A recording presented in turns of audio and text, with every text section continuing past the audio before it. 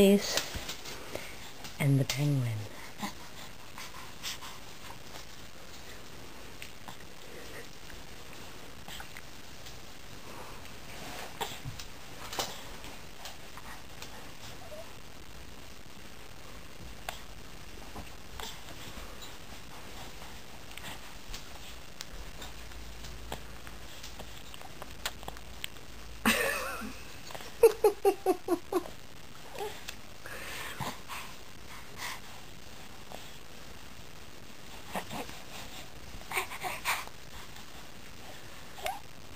Aren't you proud, Uncle Kevin?